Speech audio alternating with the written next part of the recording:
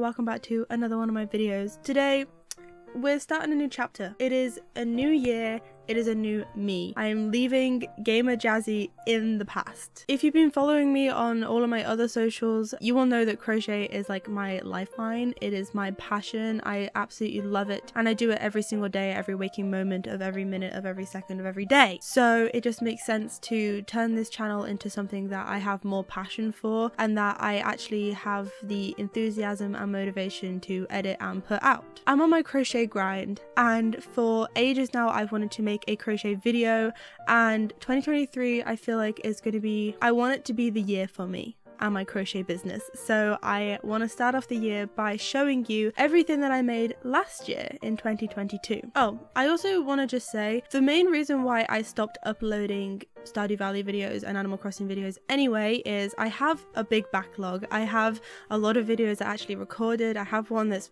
basically fully edited but when I was filming that last video I actually found out that I had a cyst which wasn't very nice and I ended up having to have surgery for it and the healing process has been absolutely awful and I'm still suffering from it to this day. I also started a new job and so it has just been too much work to sit down and edit. But I've continued to crochet obviously and I post regularly on TikTok and Instagram and so that has kind of been like my creative outlet and that's why I've put gaming in the past and I'm focusing on crochet now. So Obviously, this year as well, I graduated from university with a first class degree in production design for stage and screen.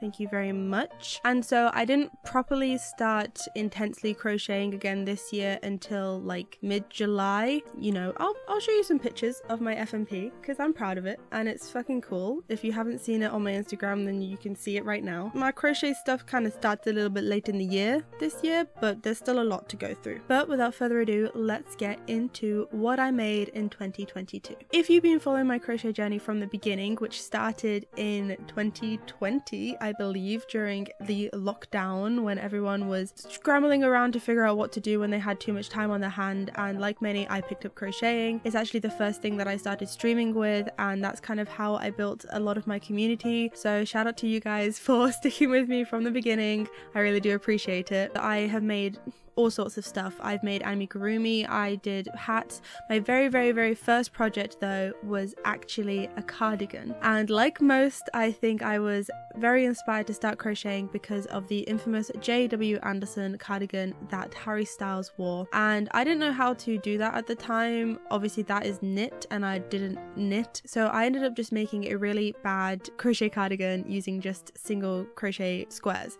So I will insert a picture of that right now. And I want to show you this because I just want to show you the growth that two nearly three years of work can do. As I have continued to crochet, I have realized that I am not an amigurumi girly. I am not a small, like, I'm not a small crochet gal. I am someone who likes to make wearables.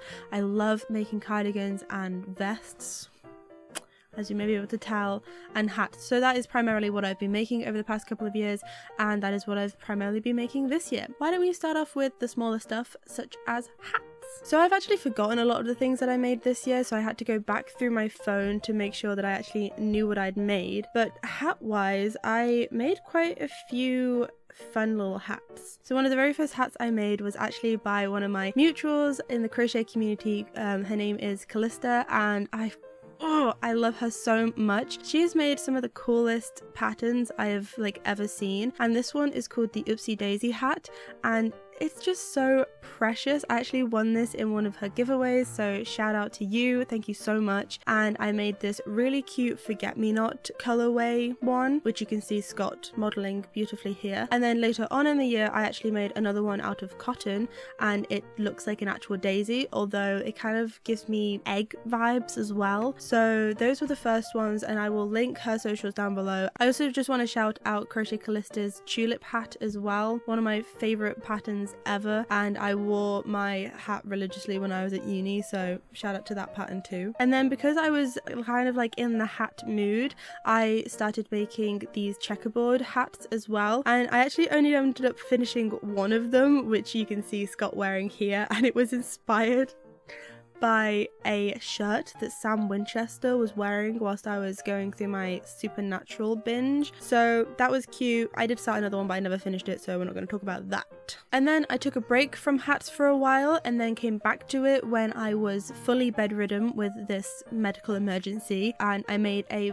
buttload of granny stripe hats and they were all so so cute. I loved them all so much. And a couple of them were actually accidentally inspired by the Fimbles and i ended up looking like them so i will post some pictures here. They were so fun to make. They were quick and easy. I made like four in one day once. And that was kind of all of the hats that i made this year. Not that many. But now we're gonna move on to cardigans. I oh i love a good crochet cardigan. If you haven't made a crochet cardigan yet you need to make a crochet cardigan because because they are so fun and they're actually really easy to make depending on like the style but the ones that I make and like the ones I love making are super duper easy. So to start off with I made this primary coloured patchwork faux patchwork cardigan which I just absolutely love. Again it is very very inspired by the JW Anderson Harry Styles cardigan that is infamous but it is so easy to make. I made all of the stripes first so I made like instead of making the squares individually I made them all in like one long stripe and then sewed each stripe together super easy I'm thinking of writing a pattern for it this year so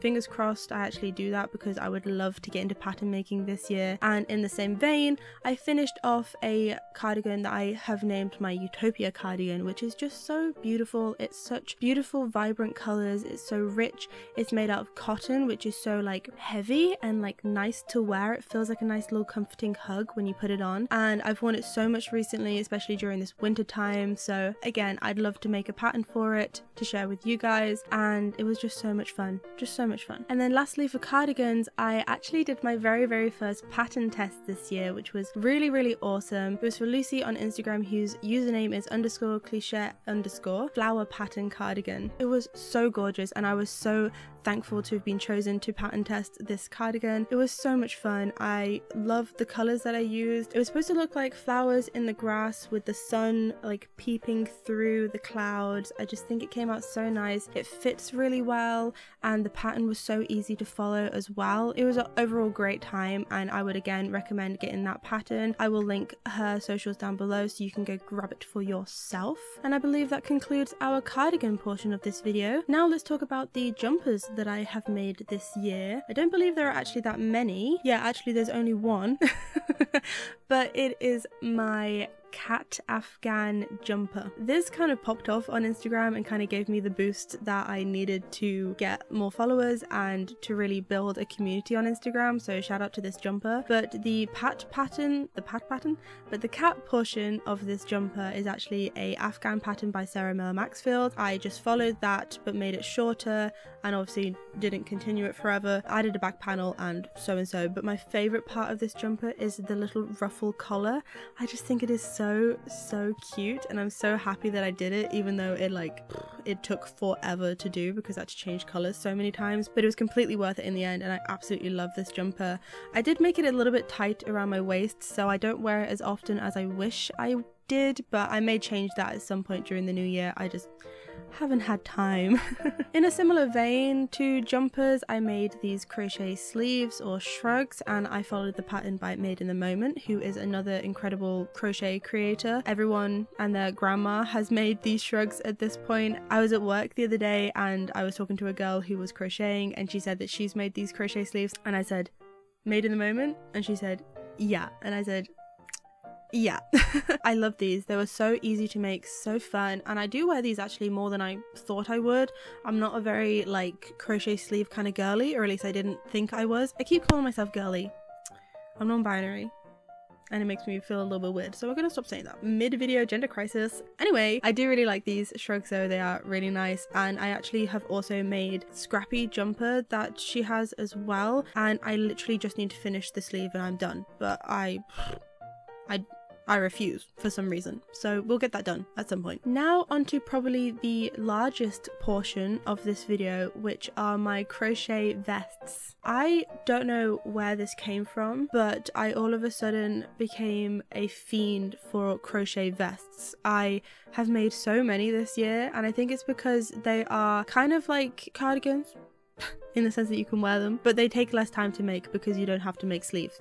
I started by making this purple gingham one, which was my very first one ever. And at first I absolutely hated it. I did not think it looked good at all. But then I put it on a couple of weeks ago and I was like, hmm, this is actually fire. This is actually kind of really good. So I obviously continued to wear it and it's become one of my favorite pieces now and I just think the gingham is so cool. I love gingham. I need to do it more often and I want to do another one but I've just been so busy recently with work and you'll find out more pattern testing that I just haven't been able to, but I would like to make another one in the future. And then the second vest I made was this dog tooth purple and green little moment, which I think is just so cool. This was definitely a learning curve for me because I accidentally crocheted the second half of the vest like backwards, which to the untrained eye wouldn't be noticeable, but to me, I can see a difference. Like one color like comes through a little bit better than the other and you know, I worked with it and it was absolutely fine in the end. And again, it was something that I kind of like came up with myself.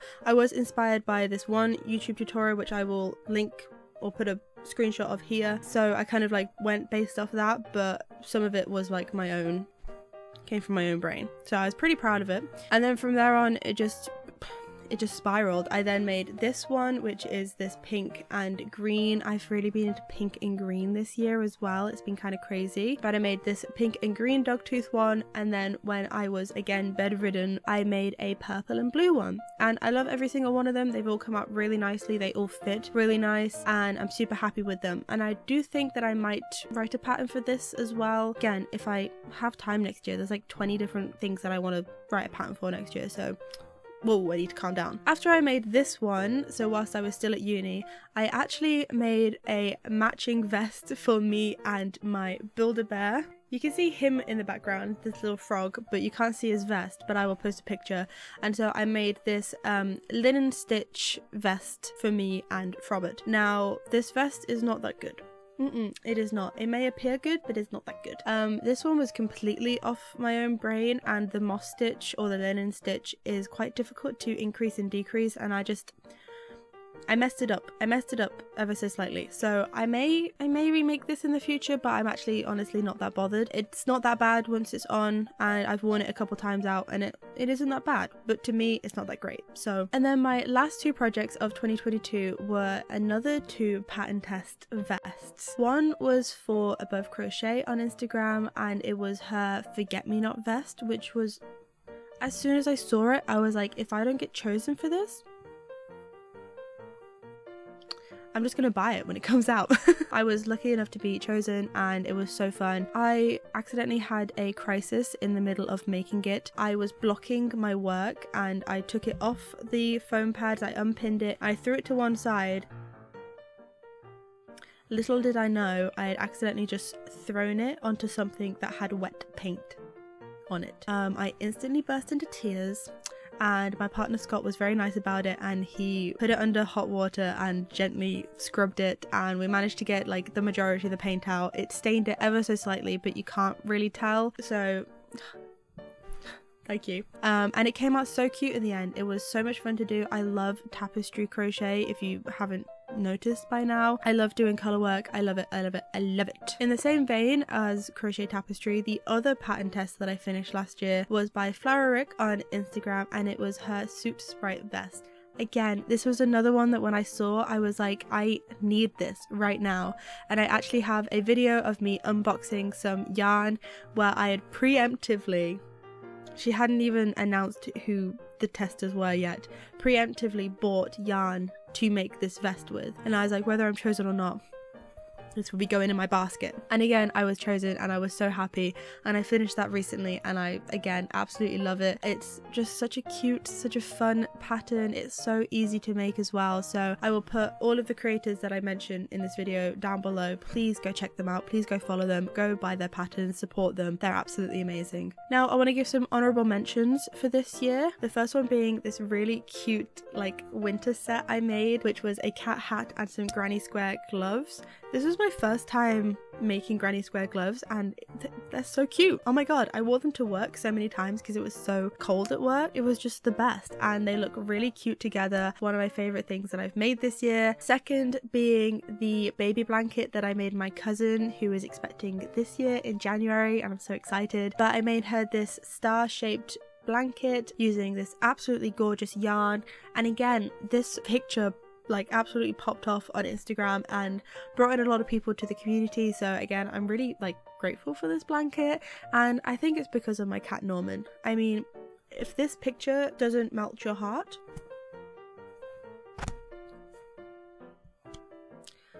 I don't know what to say. And then lastly, I want to shout out Wool and Buggers for letting me pattern test their Fishy Alex jumper, which I don't know if at the time of recording I will have finished or not, but I will post a picture of how far in I am. Ah, this was another jumper that I was like, this needs to be on my body right now. Are you joking? I remember posting on their testicle post. Testicle?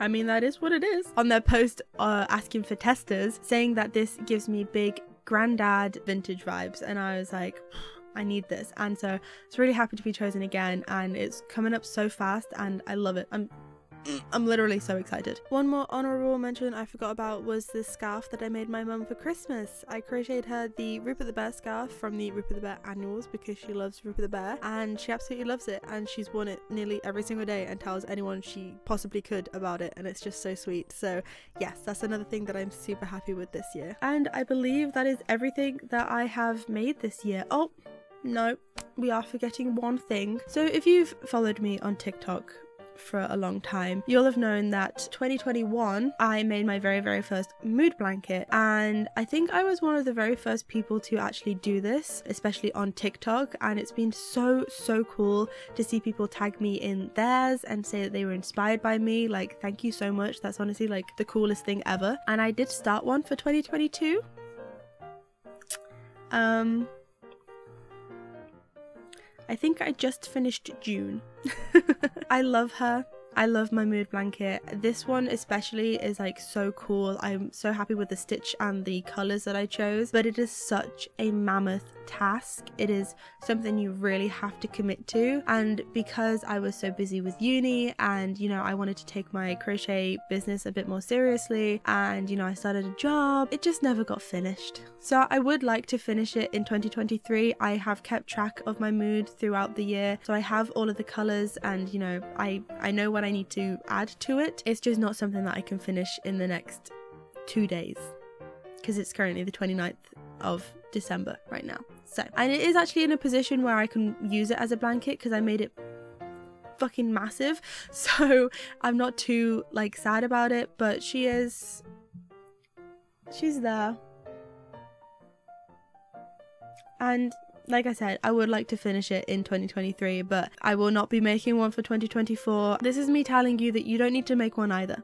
you don't have to make a temperature blanket, you don't have to make a mood blanket, you don't have to do it if you don't want to.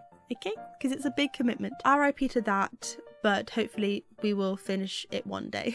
and now I think we are finished talking about everything that I made in 2022. I'm hoping to do update videos every month of like what I made during that month and some other fun little crochet videos every now and then, talking about maybe some projects I want to do in the future, maybe some tutorials, we shall see. But I hope I can at least get this video out to you and share with you what I made this year because I love watching everyone else's videos and I'm like, I have a camera, I could do that. So this is me doing that. And that is going to be it for today's video gems. Thank you so, so much for watching. I really do appreciate you sticking around whilst I ramble on about crochet. And if you liked the video, then be sure to like the video and subscribe to the channel. It'd be amazing to have you here on this new journey we are taking. If you don't already, come follow me on all of my socials. I am Jazzy0451 literally everywhere. And I will see you next time. Bye! Have a good one. Look after yourself, drink some water, you know? Bye, guys.